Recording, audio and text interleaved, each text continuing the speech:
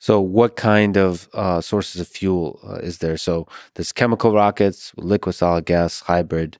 Uh, there's electric. So, wh- what what are the kinds of fuels we're talking about? What are oxidizers? What what what? Can you just explain your shirt? I guess. Uh, yeah. the, the components of the shirt. so uh, so really, I mean, fuels. uh, It's there's kind of two terms. Well, you'll generally hear the word propellant Mhm. being used. It's anything that is used to propel a spacecraft or, or used in a rocket engine. So um, you have to have, you know, you can have a fuel. You you have to have a fuel. You have to have an oxidizer, and you have to have a spark to actually get those things burning. And that's just a general law of like the universe. You have to have fuel, an oxidizer, and a spark.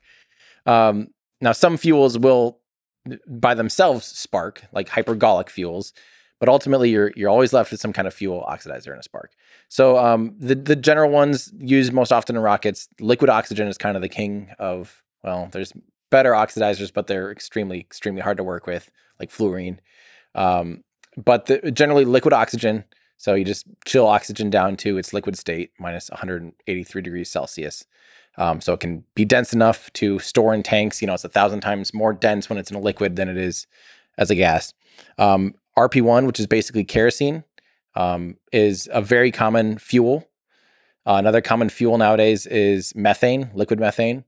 Um, liquid hydrogen is another. It's the most efficient potential for the most efficient since it's uh, one of the lightest molecules. So, if, I think, uh, correct me if I'm wrong, but uh, Falcon 9 uses kerosene and then uh, Starship uses methane, Yep, liquid for- methane Yep, for fuel, and they both use li- liquid oxygen for their oxidizer. for the oxidizer. Okay. Yep. Um, but then, you know, if you get into hypergolics, you'll normally have nitrogen tetroxide, um, which is your oxidizer, and some form of hydrazine for your fuel.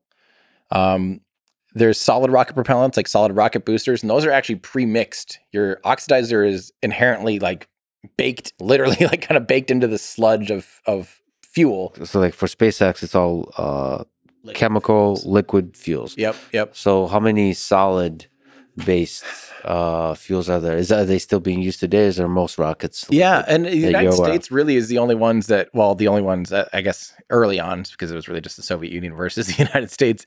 The United States started to use solids pretty early on. Uh, they're simple and easy, but these days, like you know, you'll still see them kind of as traditionally like boosters, like they're used to just uh, help get something off the ground or help give it a little extra boost. Um, so the space shuttle famously had those two huge white solid rocket boosters attached to the orange fuel tank.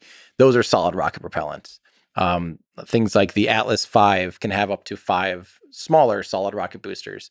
There's very few rockets that use a pure, uh, at least these days, that use a pure solid rocket motor for its first stage.